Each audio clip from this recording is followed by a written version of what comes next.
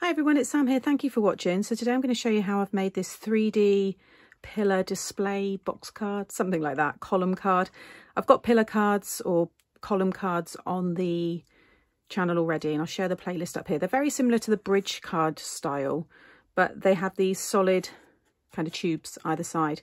So if those flowers want 3D, you can see if I push it to one side, it would fold flat. So if you haven't seen that style card before and you want something that's going to fold flat, check out the playlist that's popping up there. But I've got these beautiful dies that I want to start using on cards and I just wanted different ways to display them. So that's why I'm calling it the display card. So this will fit into my 5x7 box envelope.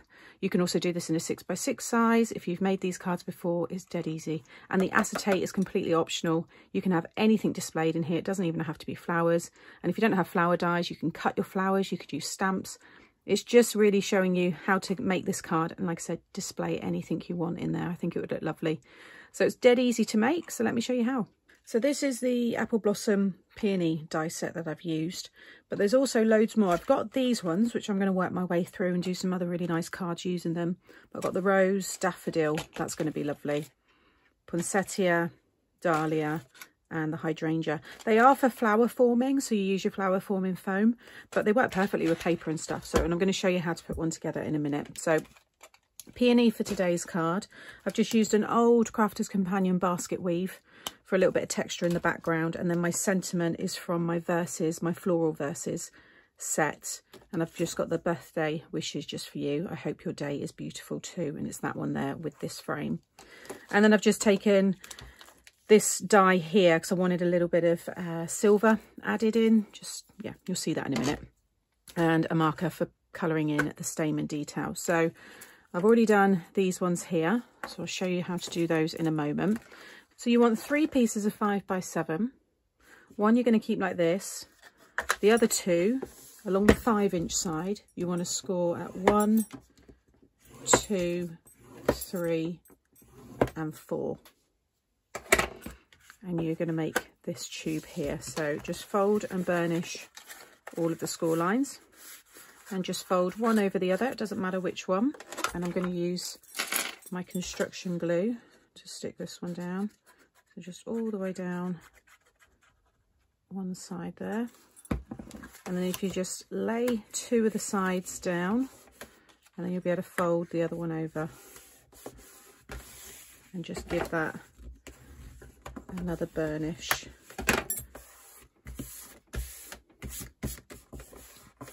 And just give that a minute to dry.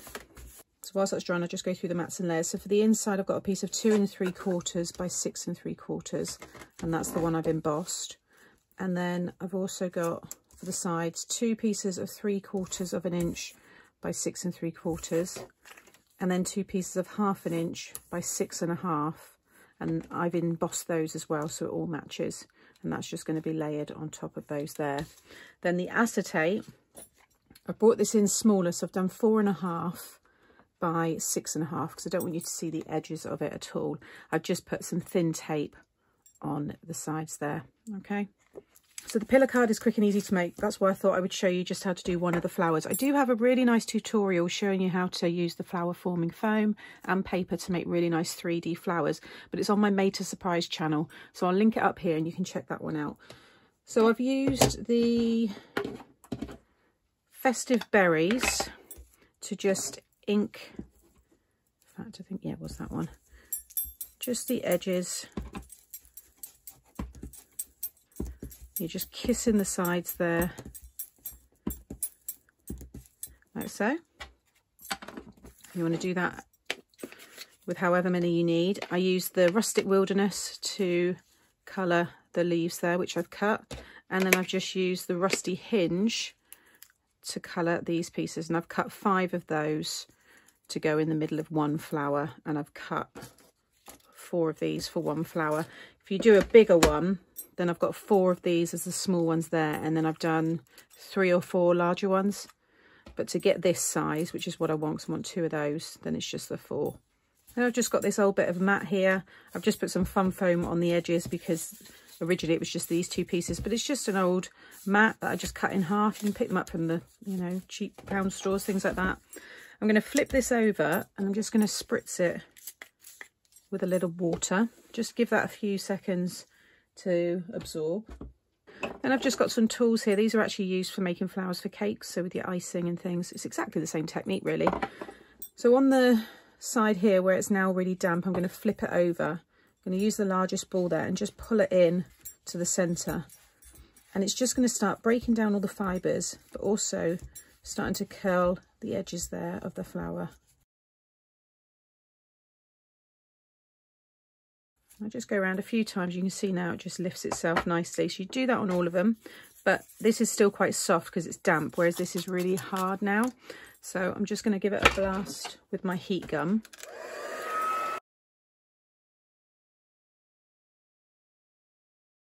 And as you're drying it, just keep it in that shape there. But now that's solid again and it's going to stay in that shape. I've then got my hot glue here. I'm just going to pop a little bit there and I'm going to use my mat again. Take one of these, just kind of just offset the petals a little and then using this I'm going to use a smaller end and really push down on that glue and the petals will start to lift and kind of come in on themselves. This is to create this peony flower because this is how these ones are. So every flower is going to be a little bit different. And then again, I'm just going to pop another one in. So it's just kind of overlapping a bit. And you just want to really roll them in on themselves. But I like using the hot glue because it dries all around all the kind of cracks and stuff that you've formed. And then it just means the flower's going to stay that way. Now you could put this one underneath, but I'm going to pop it in again on the top really push that down and keep bringing all of that in. You can see we've got that effect there. In the die set, there are also loose petals here and you can add more inside. You can stick them on the outside. So if you do want to really get it more like a bud, so it's not quite opened, then you can do that as well. I've then got these ones here and all I did with these ones was just take the smaller tool here and just roll it in from the outside in and you'll see the petals just roll inside. Okay, and then we're going to do the same again. So a little bit of hot glue and then I'm going to stick it inside. And as you stick it in there, I want to get my stylus there and it will start to really kind of bring all of those petals around so it looks like a bud. If you find it easier to just put the glue on the bottom of this and then just open it up a little bit and then stick that inside. But use something to just squeeze and push that glue down. If you're using the foam, the flower foam, the flower will look you know, quite realistic. If you get your colours right and your inking right, you literally can make some, you know, from a distance. Sometimes you would never know that that was a, you know, that it wasn't real. So, like I said, I've got that in that tutorial. So have a little look. Anybody new, you might not have even seen the flower foam. So that's the last one there. And then I've just taken some stamens here. I've just got a little drawer full of them here. It's best to get the white ones because then you can colour them any colour you want. So I've used just a brown alcohol marker here and I've just coloured the ends there. Now I don't need them to be that long. So I'm just going to trim off the white. This is completely optional. You don't need to add this at all, but I just thought it just makes it a little bit more detailed. So I've cut them quite short there and then I'm just going to pop a little bead of glue just to kind of hold them all together and then I'm going to use my tweezers like so. And then I'm just going to stick that right in the middle there. Okay so just got three little stamens there. You can see how they look in that one and in that one there as well. And now I'm just going to add some glue to this one and then pop that in the middle there. And then what I did is got some more of that original pinky colour and just on the back side just brush it over the edges there of the petals You could do it on that one as well, but you don't really see it too much. Like I said, if you want it really tight, then just, you know, when it's, make it, I would put more water and twist the bottoms so you're really breaking up the cardstock. But I'm pretty pleased with that one. Okay, so you should now have two of your pillars. I'm going to make sure you want the open kind of end here facing in on both pieces. I'm going to take this piece here and add my glue along the bottom there. And then I'm just going to sit that right up to the edge there. And then again with that side. I'm just using my bone folder. You could pop a ruler in there just to get in and make sure that glue's spread out. So your card should now stand up. Then I'm going to take my embossed piece and that's going to go inside there. So that's just drying. I've just sprayed the back of the leaves because I forgot I hadn't done those. And then I'm just turning them over so it's nice and damp. And then again, I'm going to use, maybe I'll go for this end and just roll up the leaves there from the end. The cardstock I've used is about 220. If you go too thick, it can be quite hard to shape them. And obviously too thin, you run the risk then of ripping them.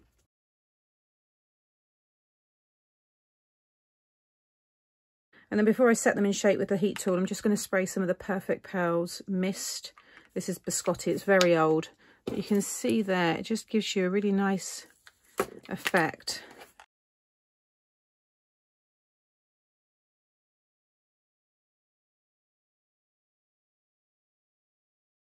Okay, so now everything's dry, so I can start to position where I want these to go. So, so I'm going to have the acetate is going to cover over the top. So those are going to have to just be hidden underneath. My sentiment is going to be stuck to the acetate down here. So I'm thinking quite nice to maybe have, no, that looks too, maybe like that. Yeah, I think I'm going to stick, get this one stuck in place. I'm just going to add the glue on the back there and get that down. Because once that's in place, I can start to squash stuff. And I've got all those leaves to build in. Just want to make sure that nothing comes above your one inch side there. But I want to give that space. Yeah, I think that's going to work. So I think we'll get all these down first. And now I can start to add more of the leaves to start to fill up some of that white space.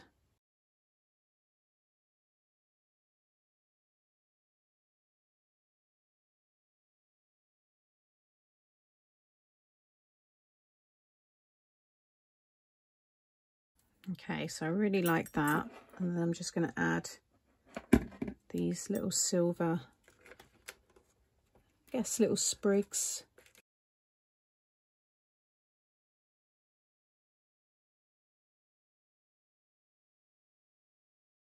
Okay, so I really like that. Then if you've got any glue strings, I can't see any, but you may find them once you pop the acetate down. Just use your heat tool, warm it up, and just blast it just over, and it will be enough to just melt them away, like so. So like I said, the acetate is completely optional. If you do use it, make sure you give it a good clean. I always rub some or spray some rubbing alcohol or surgical spirit which is also known as over the top. So I've made this shorter because I don't want you to see any of the edges. So it comes down slightly shorter. If you want to make it the full seven inches high, you can. And I've just had to peel that side off. You need, you need to make sure your sides are nice and straight. Because obviously this one isn't folding flat. There we go, that's better. You're still not going to see that. So just make sure that you've got it nice and, uh, I guess, square, even though it's a rectangle. You know what I mean? These need to be nice and square at the ends. And then I'm just going to take the tape off of both sides there. And then what I'm going to do is add tape to the back of my mat pieces here.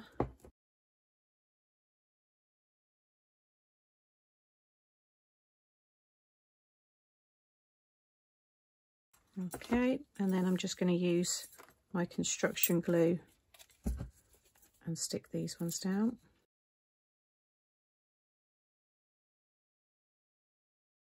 That's how it's looking so far. And now I've just got my sentiment and I'm going to use my pokey tool here just so I can make sure I get that nice and straight. And this kind of then starts to turn it into like a bridge fold card. I think that's straight.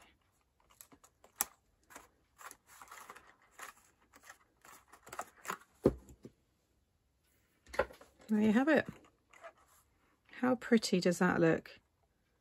And that's why I've called it like the display card because it does display anything you put in there. I think it looks really special.